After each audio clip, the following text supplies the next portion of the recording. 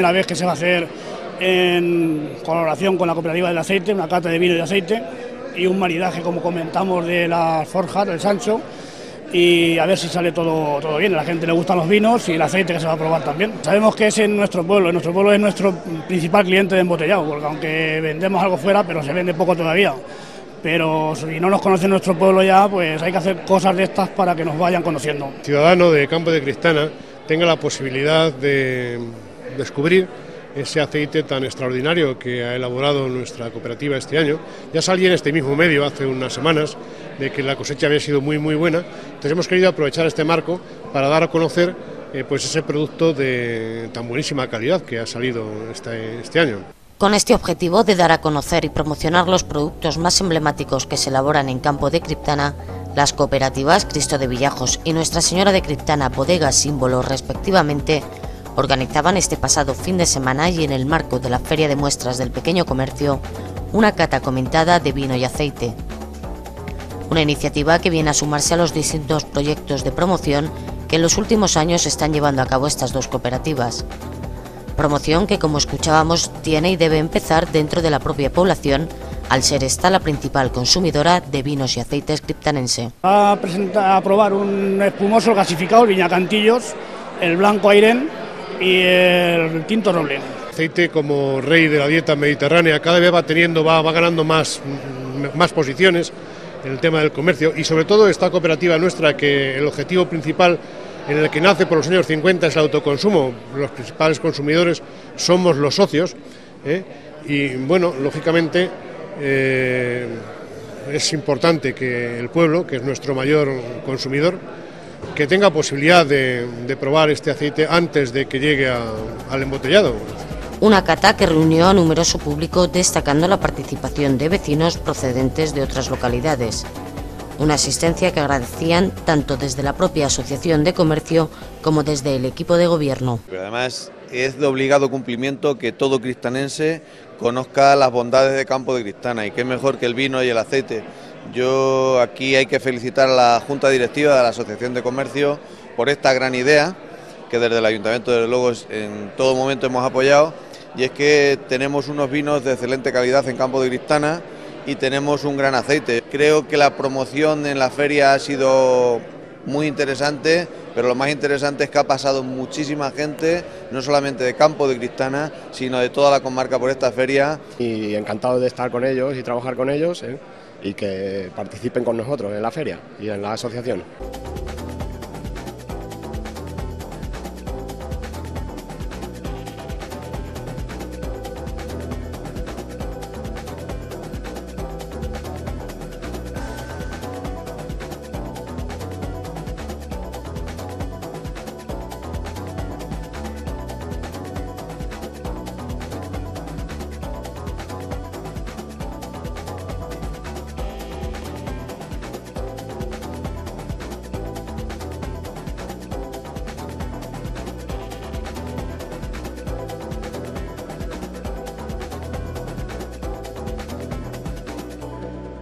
De esta forma y tras el éxito conseguido con esta primera cata mixta de aceite y vino, los organizadores no descartan llevar a cabo más iniciativas de este tipo en un futuro no muy lejano.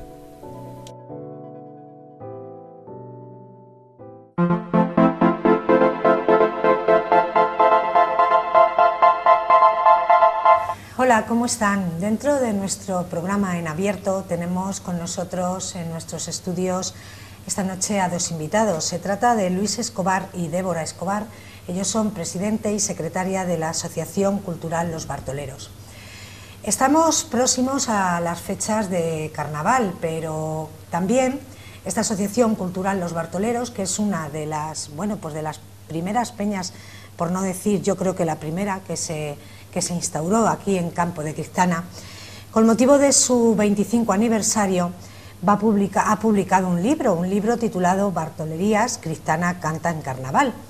Y la presentación de este libro se va a hacer el próximo viernes, 25 de febrero, a las ocho y media de la tarde en el Pósito. Por ello están aquí con nosotros, pues para conocer más detalladamente pues cómo se, se les ha ocurrido la idea de, de, este libro y para contarnos, bueno, pues de qué trata. Buenas noches a los dos. Buenas noches. Y Luis, pues yo creo que antes de pasar a hablar de lo que, bueno, de lo que habéis venido a contarnos de, ese libro, pues yo decía en la presentación que son, es vuestro 25 aniversario. Eh, vamos a hacer un poquito de historia desde que los bartoleros empiezan a, caminar por Campo de Cristana. Muchos años ya. Cuéntanos un poquito, bueno, pues los orígenes, eh, cómo surge esta peña si ha aumentado de miembros, si ha bajado, si se va manteniendo. Vamos a hacer un poquito de historia. Pues la historia de esto y los miembros, esto va, suben, bajan. Esto es cuestión de la gente joven, que en un año se apuntan, luego se van haciendo novietes y se desapuntan, otras veces nos traen las chicas y así vamos, para arriba, para abajo, para arriba, para abajo. ¿Y usted quieres que te diga de la historia? Pues esta historia la empezó Julián y de, ir rodando, rodando, rodando, pues aquí estamos con el libro que surgió para nosotros pues una noche de, de mayos que íbamos tocando, cantando y bueno, aquí qué pasa, las letrillas pues no nos salían. Ya. Pues empezamos a darle un poco al coco y de ahí que ya empezamos unos días en casa, otras veces allí en la sede de la peña, pues tú qué letras tienes, yo tengo esta, yo tengo Recopilando, ¿verdad? Recopilando un poco y de ahí empezó esto a, ir surgiendo y eh, hasta ahora pues parece ser que vamos sacando algo. Claro que sí. ¿Qué actividades eh, hace esta asociación cultural, aparte de, bueno, por supuesto, participar en el carnaval de nuestra localidad, que como les digo es una de las peñas pioneras de este carnaval? Pero eh, en feria también, se sale en, el desfile que hay el día de la pólvora. Luego hacemos Diana por las mañanas, un día odor de feria salimos a despertar a la gente con nuestra música y luego pues los mayos, nuestros típicos mayos, pues nuestro bombo, nuestro tambor, que a alguna gente le molesta, pero que nos perdone, pero es nuestros mayos y son nuestros mayos. Que somos para nos, que son para nosotros, que nos lo damos a la peña. Luego hay alguien que también, oye, que yo los quiero vamos, nos bebemos un chupito y, ya está. y se pasa el rato Se pasa el rato, sí, la verdad. También participáis en otros carnavales porque eh, vais a desfilar a otros pueblos, sí, ¿verdad? Vamos a Herencia, vamos a, hemos ido a Tomilloso, eh, mm, a, Miguel, Esteban, también. Según mm, un poco combinando con el pueblo, pues vamos actuando por ahí. Hemos ido algunos años a Ciudad Real. Sí, también. Y ahí vamos. El domingo de piñata, ¿verdad? Sí, el domingo de piñata. ¿Cuántos componentes tiene ahora mismo la, asociación? Ahora mismo tendrá unos 80, más o menos. En activo 80 y tantos. Luego siempre hay gente que colabora con nosotros, aunque no están directamente implicados en la asociación, pero sí, en activo estamos 80 y tantos. Bueno, y mucha dificultad, pues me imagino que tantos años ya desfilando en lo que es el carnaval, mucha dificultad a la hora de, de preparar un traje porque cada vez, además, año tras año os vais superando. Eh, los temas se van, se van reduciendo, van reduciendo porque claro, son muchos años. Además, bueno, pues hay muchísima competencia, mm, debe ser algo de quebrarse mucho la cabeza a la hora de pensar. ¿Y eso quién lo piensa? ¿A nivel interno de la, de la peña? Eh, sí, a nivel interno tenemos unas, unas señoras ya que son las costureras, que son las que les dan un poco a la cabeza hacen un boceto, un poco el, traje, hacemos como una junta, ¿eh? y esa junta pues se lleva, pues como dicen algunas mujeres, pues ahora le quitas esto, le pones lo otro, y, ahí, y ahí llevamos un, poco, entre, todos, Sí, pero bueno, los bocetos son ellas las que lo, hacen unas propuestas y, luego la asamblea eh, decide un poco lo que, lo que le apetece en ese año hacer. Son, además hay que decirlo, Sacri que lleva muchísimos años al frente de, la sede, es la que mantiene prácticamente la sede abierta, desde noviembre a febrero a diario, eh, turno de tarde sin parar, y luego mi madre en Carni, que lleva muchos años vistiéndonos, y a pesar de una lesión muy grave de espalda, sigue, sigue, haciéndolo y este año pues está haciendo un esfuerzo enorme este por sacarlo adelante. Este año le está costando mucho. Pero una gran labor la que hacéis aquí para, para, Campo de Cristana, para nuestro pueblo, porque realmente, bueno, pues cuando eh, hace unos años en Carnaval teníamos pues muchísimas más peñas, vosotros lo sabéis, y ahora, bueno, pues sois vosotros y la Asociación Cultural del Burleta, pues los que quedáis y los que movéis un poco, el, el, carnaval, porque si no realmente, bueno, pues habría, se han ido, Se han ido abajo, no sé por qué, se han ido abajo, habiendo las, las peñas que, había. Claro. Mucha calidad. Mucha calidad y, mucha eso. Yo no sé por qué eso se ha ido abajo. muchas veces puede con, los grupos. Mm. Pero vamos, ahora hay también una serie de grupos más pequeños, no tan numerosos como las peñas, pero que sí que empiezan a resurgir y a mm. dar vida al, al, desfile local y vamos. Es lo que tienen que hacer, animarse y, seguir, seguir adelante con Entre todos engrandecer un poquito el, carnaval. Mm. Bueno, Luis, pues voy a hablar con Débora, con tu hija, porque bueno, pues vamos a hablar de eso, de, lo que yo les decía, de este libro titulado Bartolerías, Cristana canta en carnaval. Un poco, bueno, pues el tema, eh, simplemente con leer el título, pues ya se sabe de qué va. Eh, tu padre nos decía, pues eso, que se os ocurrió esto de, hacer un libro con letras, pues una noche de mayo. Una noche de mayo, sí, fue el origen. Nosotros, como él contaba, eh, a lo largo de, estas noches, ¿no? cuando vamos haciendo la ronda, además de los mayos, en las reuniones dentro de las casas, pues cantamos nuestras canciones, ¿no? estas letras de Julián y luego ya de otros componentes también de la peña, que están ahí en nuestra memoria, en nuestra tradición y que pues eh, un par de noches vimos que corrían riesgo, corrían riesgo de perderse, es lo que le pasa a la tradición oral, ¿no? Claro. Que, eh, si no se transmite o no se recoge en alguna forma, pues corre el riesgo de, perderse. Y luego también componentes nuevos de la asociación que no se sabe. Me la tienes que apuntar porque yo esta no me la sé y tal, y un poco pues ahí se encendió la bombilla y dijimos, esto hay que recogerlo de alguna forma. ¿no? Muy bien. Y, ese fue un poquito el origen, de, origen. de Bartolería. Bueno, ¿y de qué trata? Pues eso, de letras recopiladas, ¿no? Es una de letras eh, de, de lo que son mayos, eh, cuéntanos qué tipo de letras. Pues tiene una primera parte, que son las, las comparsas de carnaval de Julián. Julián empezó en el 87 y lo que hacía era juntar un grupo de, fundamentalmente chicas, mm. eran mocitas, como él decía, y, con un tema, el que en ese año llevaba la comparsa, pues hacía letras. Mm. Y así estuvo hasta el 90, el 90 y tantos, 93, 94. Luego tiene otra parte, que son eh, las canciones que, formaron que pasaron a formar parte de, lo que es ya la historia de la peña. Himnos de la peña que eh, se utilizaban ya cuando salíamos en la feria, cuando surgió eh, el boom de las peñas, que ya teníamos cada uno nuestro uniforme y desfilábamos el Día de la Pólvora y tal. Pues también hay letras que corresponden a la, Noche de la Pólvora, a las dianas, había canciones propias de, de dianas, y luego también hay un apartado de chirigotas cuando también surgió en el pueblo la, idea de hacer para la noche de la presentación un festival de chirigotas en el que los grupos em, formábamos este tipo de, organización, también recogemos eh, eh, unas cuantas chirigotas nuestras y de, otros grupos. Cuando empezamos a, recopilarlo vimos que estaría bien, eh, como hilo conductor, hacer un poquito de historia del carnaval. Y era inevitable. Cuando hablábamos de nuestras letras se nos venían a la cabeza otras de otros grupos. La chilaba del pichirilo, el chupa chupa de la viruta, eh, el himno de la cabra lucera. Son, son letras y canciones que tenemos instalados eh, en nuestra memoria y que, yo creo que el pueblo sabe, canta y reconoce. Claro que sí. Así que y os identifica, claro, os identifica cada uno, pero bueno, ¿por qué no también recopilarlo y meterlo dentro de de estas bartolerías, ¿verdad? Bueno, eh, Débora, tú como coordinadora del libro, ¿cuánto tiempo os ha llevado el, preparar este libro?